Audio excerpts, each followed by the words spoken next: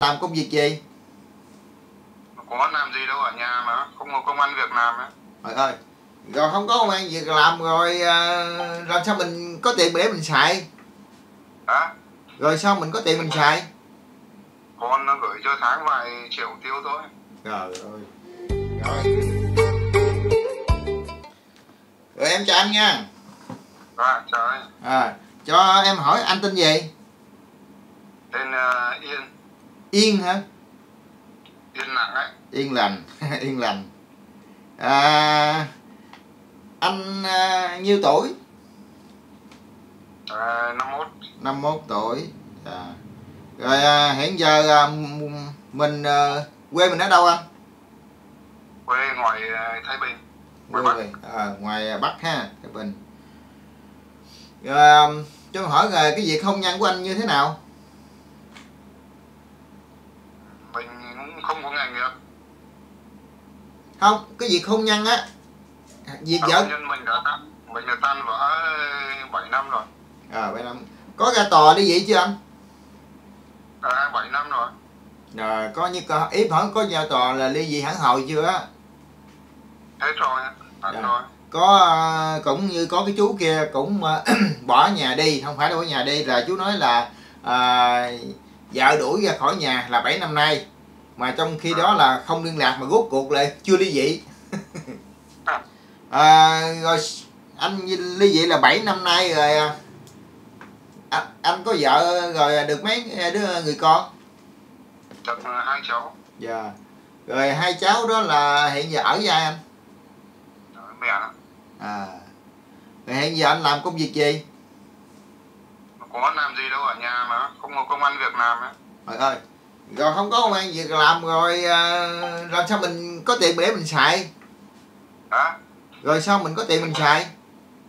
Con nó gửi cho tháng vài triệu tiêu thôi. Trời ơi. Rồi anh nói vậy hồi để em nói. Nếu mà anh không có công an việc làm rồi rồi nếu mà anh muốn vợ rồi sao anh nuôi vợ được? À, hả? Hả? Nếu nếu mà anh không có công an việc làm làm sao nuôi vợ đây? Trong khi đó trong khi đó trong khi đó là nếu mà anh có vợ rồi là con anh sẽ không bao giờ cho anh lâu lâu mới cho lần thôi chứ không có cho thường như vậy đúng rồi. Rồi lúc đó là anh phải tự kiếm công an việc làm để nuôi bản thân anh rồi nuôi thêm một uh, vợ nữa. Đang bảo năm mai cho bà cái gì Nguyễn thì Xuân Hằng vào à, bê phở cho bà. Bê phở bê phở cho cho, cho chị hằng hả? Đúng rồi. À, à, anh nói hỏi hiện giờ anh ở chỗ đó là nhà anh hay là chỗ, chỗ nào anh? Nhà của mình là à, nhà của anh ha. Rồi bây giờ anh có vợ anh phải bỏ nhà đi theo à, đi đi vô trong nam sống với à, chị bán phở luôn đúng rồi như vậy nếu mà như vậy là anh phải là bán căn nhà này mới đi vô chồng lập nghiệp được chứ? Đó có miếng đất chưa bán được có đất chưa bán nữa hả? Thì à, thì nếu mà thành công á thì anh phải bán tài sản đất đai đi vô chồng mở quán phở lớn lên hai người kinh doanh. Đó chấp nhận thương nhau rồi phải đầu tư vô quán lớn lên. Chỉ chị chỉ thì à, nấu anh thì à, bưng rồi. Theo à, sau chương trình anh thấy à, cái chị đó như thế nào? À, thấy nghe là nay nói thế về bà cũng không cần cái giàu có cái gì cốt có nghĩa là sống bình thường sống tình cảm là được. Mình nghe thấy thế. Ừ. nói chung ra là cuộc sống bây giờ à, à, nói thật mà nói sống tình cảm thì tình cảm thì cái điều đó thì tốt. À, nhưng mà mình không có tiền thì à, cũng sống không được. Đó. Thì nếu mà mình chấp nhận chung sống nhau mình phải làm. Mình phải làm mới có tiền mình sống được. Chứ giờ nói giờ tình cảm rồi không lẽ rồi hai người ôm nhau rồi no. Đúng rồi. Đúng không anh? Đó. Thì nó có phải có hai mặt. Mặt à, à, tình cảm là cái điều đó quan trọng nhất. Nhưng cái tiền cũng gọi là quan trọng nhưng mà mình phải cố gắng mình làm. Đó chứ không phải mà bắt người ta nuôi mình được. Đó. À, cho em hỏi là cái à, ưu điểm và khuyết điểm của anh là như thế nào? Mình thì à, nói chung là làm thì mình cũng nhiệt tình. Khuyết điểm thì mình cũng hơi hơi, hay nóng tính. Hơi nóng tính. Cái cái, cái độ à, nóng tính à, của anh là tới mức độ nào? Không mình cũng vừa phải thôi. Vừa phải nha. Không ờ, chứ chứ không nóng lắm.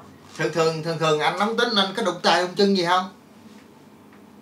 Ừ, không. Có không? Nghe nó cười cười nghi lắm có không? Nói thật lòng nha lên chương trình em phải nói thật lòng vừa nói vừa cười này em nghi lắm nè. Chắc có phải không? Nói em em nói nhớ chơi với anh bảo đảm là em nhìn là biết có đó mà không biết cái đụng tay chân với mức độ nào thôi. Không không có dám được đâu em nhìn là em đoán được đó. Nhưng bây giờ anh cũng đã lớn tuổi rồi nhưng anh nếu anh biết kiềm chế cái tính nóng của anh lại thì nó sẽ tốt hơn cho anh thôi.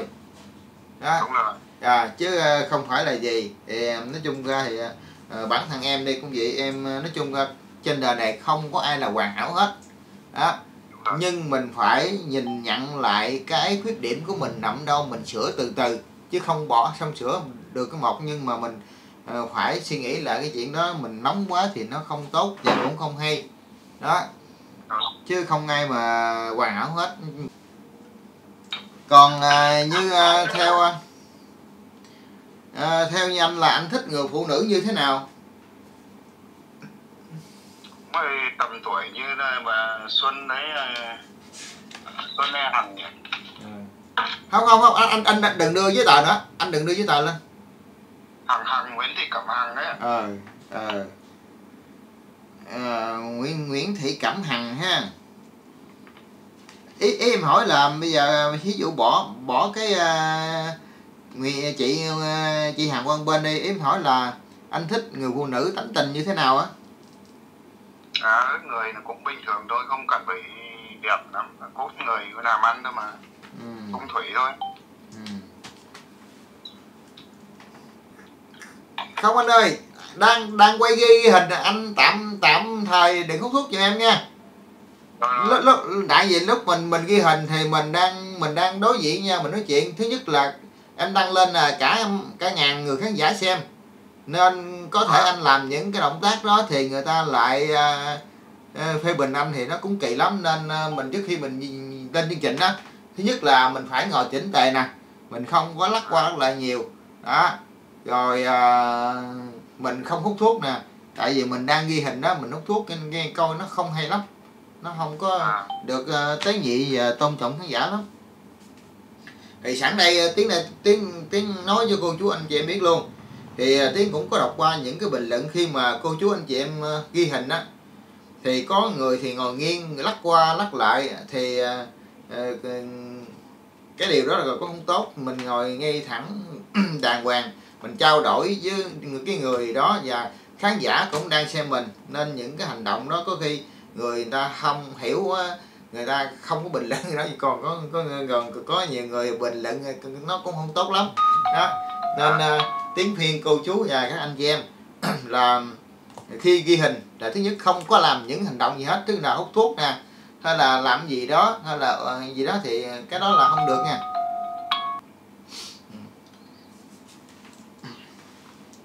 Rồi như vậy là anh ở ngoài ngoài bắc ở ngoài thì ờ, hiện bây giờ là anh không làm gì hết là bao nhiêu tháng anh?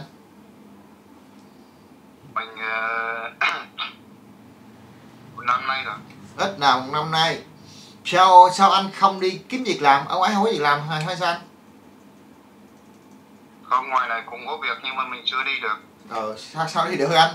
Hiện giờ anh sống của mình anh mà anh phải làm chứ.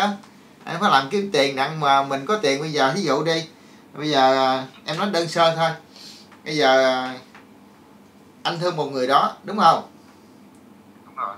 Thì ít nhất anh muốn đến người đó ít nhất anh phải tặng người ta một đôi bông hay là một cặp nhẫn. Tuy rằng nó không có nhiều tiền nhưng mà phải có những món đồ đó.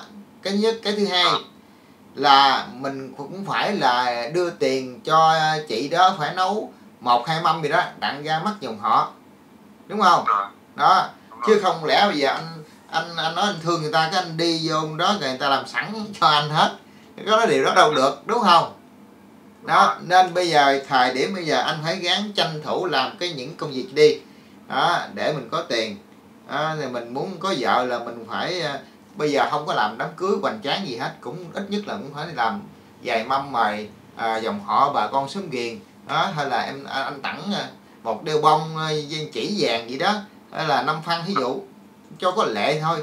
Đó, chứ không lẽ giờ mình nói mình thương người ta mà không có cái gì dính dác trong người chân chết luôn.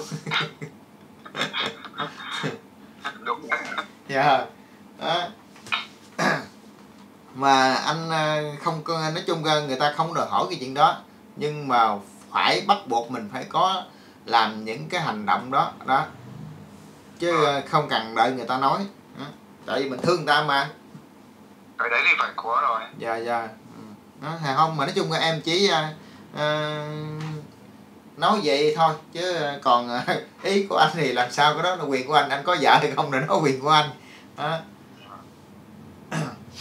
à, hồi đó giờ à, cho khi mà à, anh ly hôn với à, bà xã anh á anh có có thêm một người nào nữa không? Không. Là vậy luôn mình ờ, mình ờ, đi vào đi tàu 3 năm ờ, ba năm trước rồi về mình nghỉ luôn. À, đi tàu đánh cá hay gì anh đi tàu Nam Bắc đi chở hàng vào Sài Gòn vào Vũng Tàu. Ờ, tàu à, chở hàng rồi ha. Rồi Quay sao Vũng Tàu xong quay ra ngoài Bắc luôn. Rồi sao cái công việc đó mình à, không làm tiếp anh? Mình bị bệnh cái là nó mình về luôn. Ờ, anh bị bệnh gì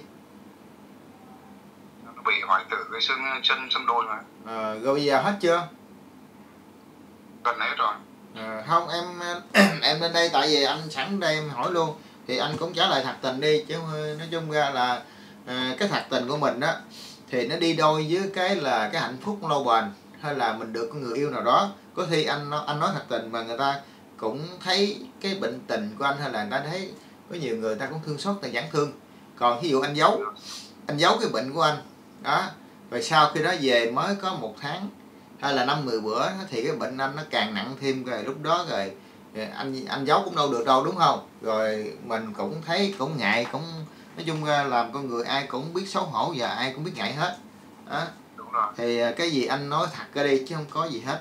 Tại vì lên chương trình của em là cái cái um, bắt buộc cô chú anh chị em phải nói thật lòng không nói dối tại vì cái thật của mình đó là để tốt cho mình về sau này chứ không phải là có cái gì hay hết. Đó. À, nói chung ra là hôm nay à,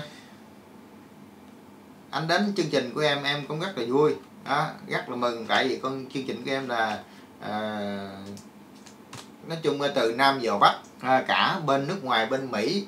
À, hồi sáng này em cũng có ghi hình à, Ờ, một ờ, cái anh ở bên um, phần lan. Đó, thì ờ, tại vì ảnh bên phần lan là sáng anh, em ghi là 7 giờ sáng là ở bển là uh, 12 giờ khuya hay gì đó mà ảnh còn thức. Nên em tranh thủ ghi hình. Đó, chứ giấc này thì ghi đâu được. Thì nói chung ra là em cũng mừng vì cái kênh em cũng thấy à, càng ngày càng cô chú anh chị em yêu thích à, muốn kết nối à, lại với nhau. Đó. thì à, mong rằng thì cô chú anh chị em à, tiến cũng nhắc lại một, một điều này nữa nha. Bữa hổm tiến nhắc đi nhắc lại là trên clip rất là nhiều lần. Thì mong rằng cô chú anh chị em muốn tham gia chương trình kết nối yêu thương của tiến thì hãy kết bạn zalo và nhắn thêm một dòng chữ là chú muốn tham gia tham gia chương trình hay là cô muốn tham gia chương trình đặng tiến biết mà tiến chấp nhận có nhiều cô chú là cứ điện xin số điện thoại không à, à không muốn lên chương trình. Đó mà thật sự cái lực của là phải bắt buộc phải lên chương trình. Bây giờ cô chú ở đâu? Tiến đâu có biết đâu. Mà cô chú làm nghề gì tiến cũng không biết luôn mà tại sao phải xin phải tiến phải cho? Đó ai muốn tham gia chương trình phải lên hình của tiến. Là tiếng hỏi công ăn việc làm có thôi vợ hẳn hồi chưa? Đó à, có nghề nghiệp có ổn định hay này nọ đặng cái cô chú anh chị em nào đó coi đặng biết đặng cảm thấy rồi cái cách mình nói chuyện hay là cách mình sao à, cô chú đó mới chấp nhận và mới hiểu. Chứ không cô chú ở đâu không biết. Cứ lên cứ điện thoại xin điện thoại xin. À, vậy đâu được. Nếu mà ai cũng xin anh chị rồi đâu có ai lên hình rồi đâu có ai biết cái kênh của tiến là làm cái gì. Đúng không anh? Dạ, đó, đúng rồi. Đó. nếu mà ai cũng vậy không là cái kênh của tiến là có nhiều cô chú không biết hiểu sao đang ghi hình thì điện tắt tắt là biết rồi. Là người ta bận rồi, mà cứ mà điện dồn dập dồn dập. Đã tiếng có nhắc đi nhắc lại. Trên clip là không biết bao nhiêu lần, cô chú anh chị em là muốn tham gia chương trình thì cứ kết bạn zalo với tiếng đi mà. Không chịu kết bạn cứ điện không rồi xin số không. Tiếng cũng không hiểu luôn, tiếng nói là biết bao nhiêu cái clip mà nói. Mà tiếng nhắc đi nhắc lại á, trên clip hoài thì nó cũng kỳ mà không nhắc thì lại cô chú anh chị em cứ điện không à điện trên clip không. Đó. Mà không muốn lên tham gia chương trình. Thì thôi à, à, em cũng cảm ơn anh ha đã lên chương trình chương trình của em. Thì à, sau khi em đăng cái clip này lên á thì em mới cho số được với chị à, chị chị gì nãy quên này ơn. À, chị Cẩm Hằng. Đó thì à, em sau khi em đăng cái clip lên thì em mới cho số. Rồi bắt đầu anh tự anh tìm hiểu với nhau. Đó, cảm thấy thích hợp thì mình đến còn không thích hợp thì mình coi như bạn bè để tâm sự cũng được. Đó. dạ. Thì sau khi um, muốn kết thúc chương trình thì anh có muốn nói lời nào những cô chú và anh chị em hay là nói những lời nào cho mấy cô mấy chị đã thấy được đặng mà muốn kết nối với anh mình nên sống đây nên mình cũng chào ờ, cộng đồng anh em mạng xã hội. Đã một lần rồi lần đò rồi. Ngoài bắc là mình cũng đang mong muốn rằng là, là kiếm một cô có nghĩa là chung chung tuổi và vợ chồng làm ăn dạ. Sống được ở trong nam thì là có nghề có nghiệp và trong đấy làm ăn thì là cái tốt. Nói chung á, ngoài bắc nói chung dạ. Nói chung ở ở ở ờ, trong nam này thì ờ, trừ ra anh làm biến thôi chứ công việc thì nó rất là nhiều. Đó từ ra mình không chịu làm thôi chứ chịu làm công việc nào cũng làm được hết. À, tiền ít hay tiền nhiều thôi chứ lúc nào anh cũng có công việc để làm. Thì thôi tiến cũng ờ, chào tất cả cô chú anh chị em. Tiến kết thúc video đây. Thì mong rằng cô chú anh chị em À, ở trong nước hay là ở ngoài nước? À, xem cái chương trình của tiến thì nhớ ừ, chia sẻ dùm cho tiến để tiến kết nối thương thì tiến cũng nói rõ hơn là cô chú anh em ở quá xa thì tiến ghi qua màn hình zalo. Còn những cô chú anh em nào ở ờ, từ thành phố đổ đây long an bạc liêu sóc trăng gì đó thì hãy lên tới à, chỗ tiến ghi hình là ở dầm cống là gần ngã ba lộ tẻ đường gạch giá long xuyên. Đó thì tiến à, là tiến ở quận thúc nốt nha. Thì từ cái quận thúc nốt lên tới cầu dầm cống thì nó chỉ có cách 7 cây số thôi. Đó, thì cô chú anh em mà tiến um, à, sắp chương trình lại là ngày chủ nhật là để cho cô chú anh em rảnh rỗi à, nghỉ thời gian nghỉ đó để lên tham gia chương trình của tiến là ngày chủ nhật nha. Còn cô chú anh chị em nào ở quá xa thì tiến quay qua màn hình thật sự nói là quay màn hình cái hình ảnh nó không tiếng nói nó bị à, lấp dấp hoài à. Đó, nên cô chú anh em hãy muốn thật sự muốn lên chương trình và thật sự muốn tìm nửa mảnh ghép còn lại để mà về chung sống với nhau thì cô chú anh em hãy đi lên tới chỗ tiếng tiếng quay cho nó uh, ở ngoài thì nó chân thật hơn hơn ở trên này. Đó thì mong cô chú anh em hãy chia sẻ dùm cho tiến nha. Thì cô chú anh em là chưa có đăng ký à, tiến cũng mong rằng cô chú anh em hãy đăng ký kênh của tiến nha. Thì cho tiến một à, cái đăng ký và một like được chia sẻ. Thì cô chú anh chị em nào muốn xem cái kênh thiện nguyện của tiến là bên kênh là hồ tiến tv bên youtube youtube đó thì qua đó xem và chia sẻ những cái à, mảnh đời bất hạnh thì tiến đã từng quay thì nói chung ra là cái kênh đó là tiếng chuyên về quê thiện nguyện để giúp đỡ những hoàn cảnh khó khăn. Đó, thì cô chú anh em hãy ủng hộ cho tiếng nha.